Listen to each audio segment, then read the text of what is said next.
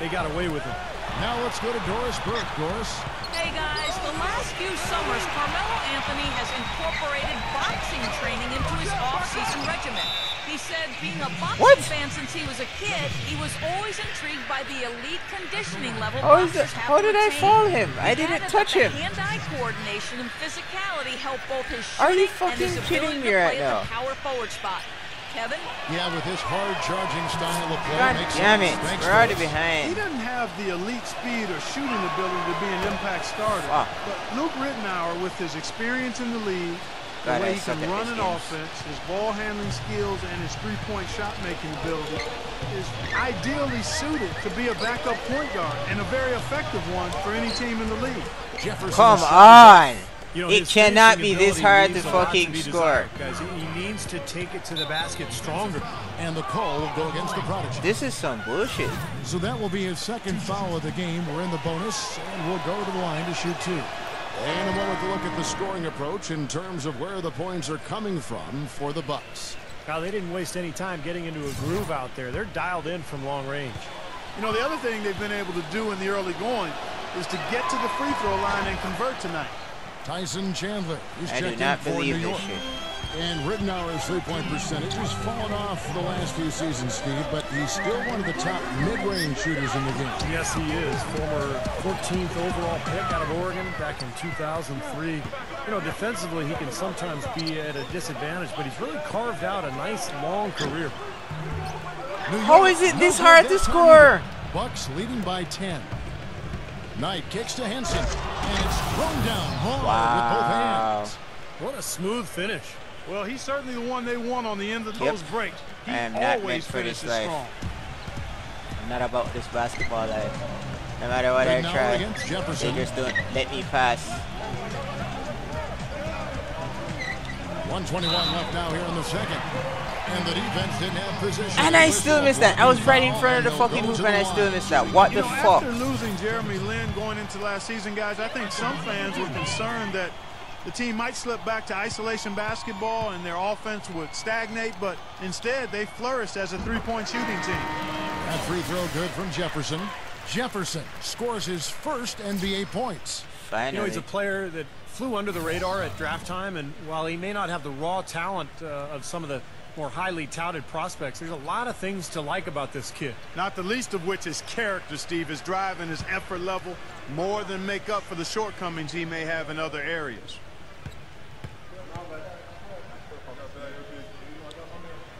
And both free throws good for Jefferson.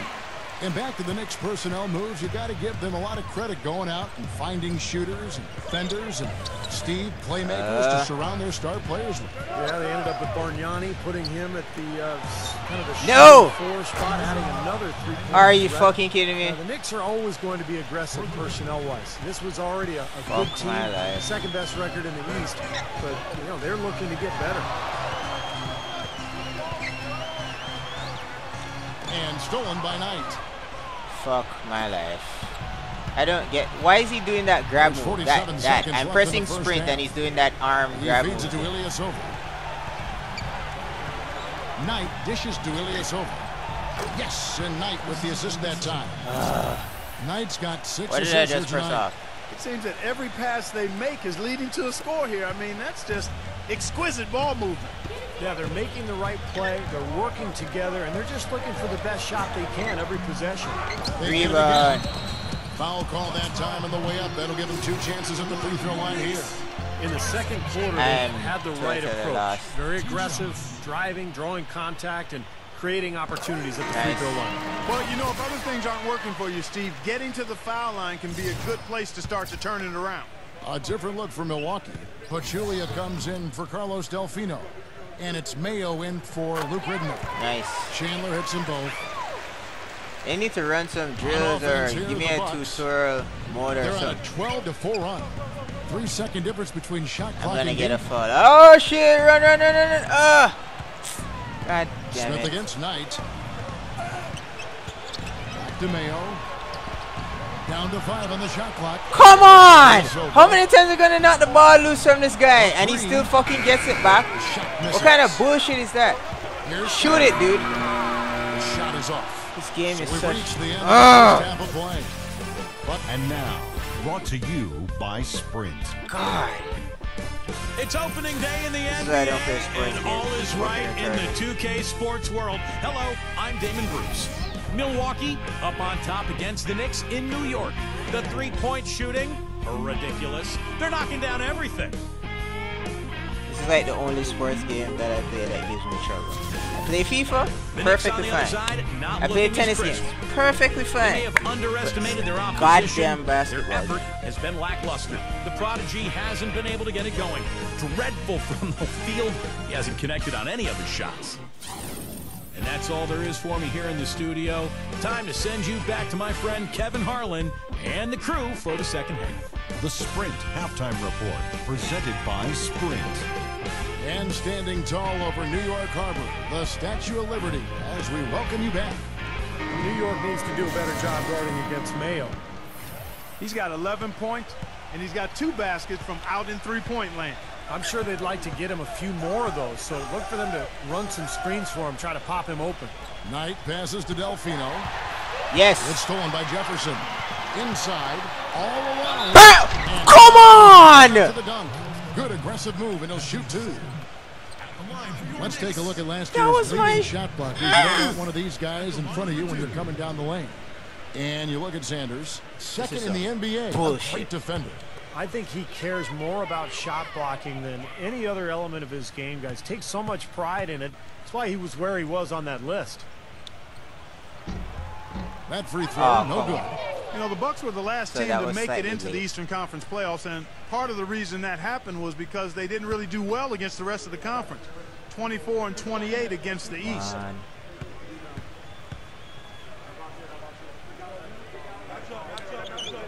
And he sinks the second. Slightly Clark, as you were saying, the rest of the Eastern care. Conference Win got the better of the Bucks. Had they been a little tougher against some of the lesser teams in their own conference, they might not have had to deal with the Heat in the first round of last year's playoffs. Well, the Bucks tried to mix things up last year. Remember, they made the big trade at midseason, Oh, wow, too, going actually- for J.J. Redick and, and moving on from some of the young players. And, and I think that changed. And, of course, the, the coaching switch from Scott Skiles to Jim Boylan. So they, they lost some of their momentum. Ah. And keeping us updated from the sideline, let's Run, bring it over to dude. Doris Burke for an update. Hi, Doris. God Well, damn Kevin, it. a curious signing for the Bucks this offseason, bringing in Pachulia on a three-year mid-level type deal. This is a team that already had a logjam in the front court with Sanders, Henson, Ilyasova, and Drew Gooden. The Bucks traded away promising forward Tobias Harris last year for what became a couple of second-round picks. They did much the same with Mbah Mute. It's all about getting the most out of your assets. Guys, we'll see how the Bucks do shuffling their pieces around. It'll be interesting Nice. to see. Thanks, Doris. And a chance here to check out how the Bucks ranked in the NBA last season. Second in blocks, fifth in rebounding. And they were in the top 10 in steals as well. I mean, this is a team that really gets after people defensively. Deflections, pressure on the ball, all of that leads to steals. And I think the, the thing that jumps out at me is the, the blocks per game. It just shows how well coached they were defensively. Great rotations. They closed out and they forced their opponents into tough situations at the hoop. That's how they were able to block Come some of the on. shots. Tell you what, guys, if you had I cannot score Amar'e Williams to anything. play a role on the Jesus team, you fucking should have Christ. Put them all to rest with how he came off the bench for the Knicks. Couldn't have been easy for him, but he handled it well. That free throw, no good. Well, with Amar'e's dealing with those Am I gonna have to like look up online or something how really to take free throws? Because I'm just kind of winging this shit right now. Knicks And destination. Yeah, signing there in free I don't agency know. in 2010. He had a huge season, averaged 25 points a game, and I think really energized that New York fan base. He was kind of the, the franchise player before Carmelo arrived. He hits the second from the well, line. it went in. A lot of high hopes for the Knicks in last year's playoffs. They started off so hot, but then let the series against Boston drag on and on, and eventually. Ah went shit! Block him! games. Yes! They fell to the Thank you. in the second You just saved that. my ass. Yeah, and that's out of bounds. Milwaukee will retain possession. Here's what the schedule says for the New York Knicks and what it looks like. When this game is done, they'll be off to Chicago as they take on the Bulls. That'll be just one game played away from home for them. Boy, a lot of fans around the league really focused on that matchup for Chicago. Knight. Oh, And he banks in the layup. Mm. Knight's got 10. And the Boston series did drag on them, you could tell. You wonder if they were a bit fatigued going into that Pacers series. Steve Indiana just outplayed him, outworked him in, in every way in the second round. Yeah, I think it was a factor, Kevin, and really the Knicks have only themselves to blame. They had Boston down 3-1 and a home game to close Yes, it out. finally. They couldn't get it Jesus. done. And there's no doubt that that affected them against Indiana in the next series. Second half of play with just under two and a half minutes gone.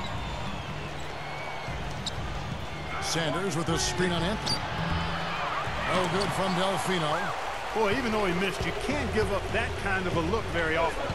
Yeah, they're lucky that they didn't get burned on that one. Smith against Mayo. Smith kicks to Jefferson.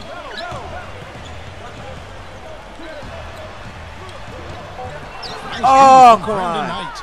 You know, in Larry Drew's case, it was a bit of an unusual situation once the season concluded. He was in the final year of his deal. The Hawks said we'll interview other candidates and left him free to interview for other head coaching positions, and he landed in Milwaukee. Six to shoot. And here's Ilyasova outside, but they'll get another chance. It's rebounded by New York. Chandler's got his fourth rebound in this one. Stoudemire setting the pick for Smith. It's Carmelo Anthony on the wing. Back to Smith. He kicks it to Jefferson.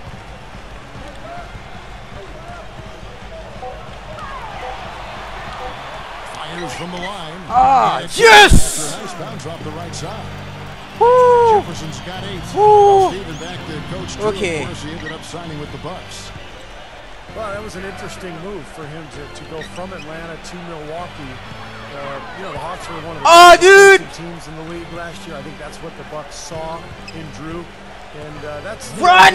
for him to really help this team get the most out of its players. Come on! Yes! Rebound. Okay, we got this. We got this. We got this. needs to polish those Go. Smith for three. And the Yes! Bucks is good. Yes! All right. All right. in the quarter. Woo! Needed a run to get Okay. back into this All right. game, and they got Okay. It. All right. Uh. Okay. and offensively.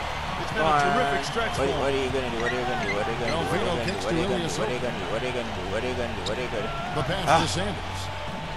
What are you gonna do? What? Block him! Thank you. Nice D from Chandler. Knicks trail by D up. D up. Well, I think Larry Sanders is one of the most improved players in the league, guys. I don't know where you stand on it, but, you know, he led the league in ejections, too, with five. He's got to control and manage his emotions a little better. Uh, It's Carmelo Anthony on the Go. wing. nice. And it's going to be two free Almost. contact on the shot. Back to Sanders. He said he's Ooh. taking steps to keep Okay. his composure. Okay, guys. Okay. Getting to We're doing something. Players and feel the, the wrath of officials. Those technicals were piling up. Well, Kevin, he's already made some nice strides in his approach to the game, just eating right, getting to the gym early. You, know, you really have to learn how to become a professional, and I think Sanders has made that next step. Oh, come on, Well, you know, the Carmelo. Bucks You can't be they had dropping plan to make those. a big push forward by pairing some talent I'm back together on in the the bench, backcourt. But what seems to have happened Man, that is was they intense. are We now got back up mired to a C? in mediocrity, which is exactly where you Don't don't, ask want me to how. be. And the Bucks making a change here. Udoh's checked in for Sanders. John Henson That comes in for me the fuck out. Gary Neal's checked in for Carlos Delfino. Yes. And Luke All right, we're behind by for eight OJ now. Mayo. And back to Minnesota. They were the eighth seed in the East last year, but still finished six games Yes, under better not 500. fuck this up. Still a lot of work for them to get above 500 and be in a position where, Steve, they are, you know, competing for home court in the playoffs. Yeah, a lot of changes for the Bucks in the offseason, but uh, a team that was Come able to sneak in last year, they're, they're hopeful to make it once again this season, uh, but it feels like they're kind of stuck in the middle right now. Two for one Come on, guys. Bring it back. Bring it back. Do. Make sure you get a couple of shots here to close this Yes. quarter. Awesome. Awesome. But the drive All right, we're down by six now. Finger roll finish. Beautiful. We need three more baskets to catch to up. Smith. Come on, D up, D up, D up. D up. Don't let him score. There's 21 seconds. Not let him quarter. score. Gets the bucket. Fuck. And the Bucks lead by eight. Yeah, they really needed that one to possibly stem the tide. Come on, guys. Come You know, on. when you have a lead sometimes, guys, you exhale a little bit, get too comfortable with it, and as a result, they've given up a big run. Felton dishes to Shumpert. Come on, Shumpert. Back to Felton.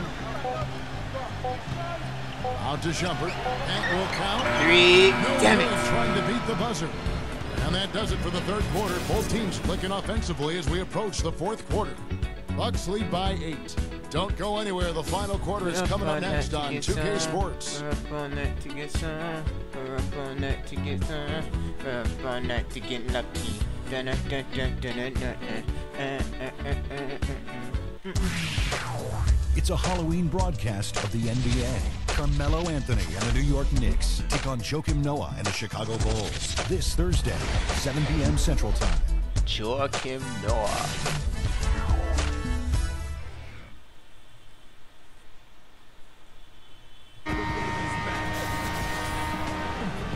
Quarter, just moments Fourth quarter, now guys. The last you quarter of the game. And an important part of every team's game. We'll look at the hustle stats for the Bucks. Their activity at the defensive end, Kevin, has been really impressive, attacking and coming away with steals. Yeah, I All right, let's try to get back a in the game. credit for how well Oh, wait, they didn't put me back in the game. We lost. We lost shots by 10. game. Fuck. A lot of block shots tonight. So no problem for Milwaukee as they get the win. Not much to be critical of with this win, Clark. Not at all. I mean, they showed up not just to play, they showed up to give great effort and to win, and they did both. And that'll wrap it up for Clark Well, we Kellogg, tried, Steve guys. Kerr, and Doris Burke. We This gave is it our Kevin best shot. Thanks for tuning in.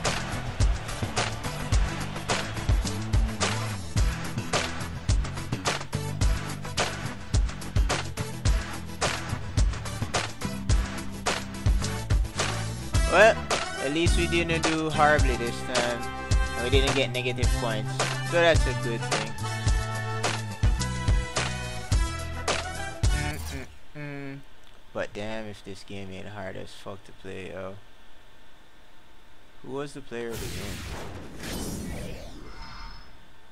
OJ Mayo. Yo. Uh, one, two, three, go.